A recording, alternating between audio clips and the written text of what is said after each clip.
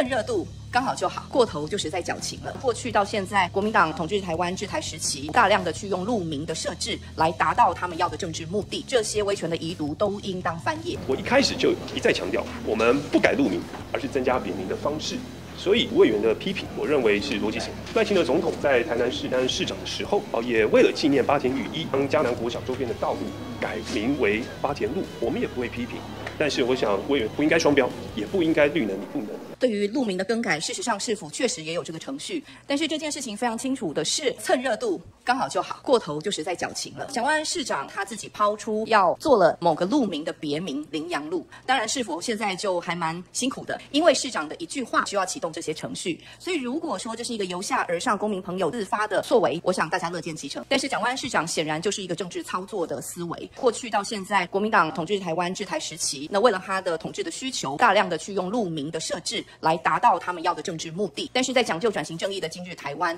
这些威权的遗毒都应当翻页。我就以立法院附近哈这个林森南北路，其实当时就是蒋介石呃为了去加冕呃接任他担任国府主席的林森，用他的名字来命名。所以说，除了是统治的需求之外，呃，对于国民党人也习惯用一种恩宠式的政治哲学，从路名来下手。这些作为，我觉得都是上一个世代的事情了。那蒋万安市长这样子的抛出的议题，那很清楚就有他想要笼络年轻族群、运动族群这样的。政治目的，我们希望透过增加这个别名，也让所有台北市民记得李阳、王麒麟他们为国家、为台湾啊，在奥运赛场上拼搏到最后一刻的精神。我一开始就一再强调，我们不改路名，而是增加别名的方式。所以委员的批评，我认为是逻辑性。那另一方面，赖清德总统在台南市担任市长的时候，哦，也为了纪念八田雨衣，将嘉南国小周边的道路改名为八田路，我们也不会批评。但是我想委员的指教。啊不应该双标，也不应该绿能与不能。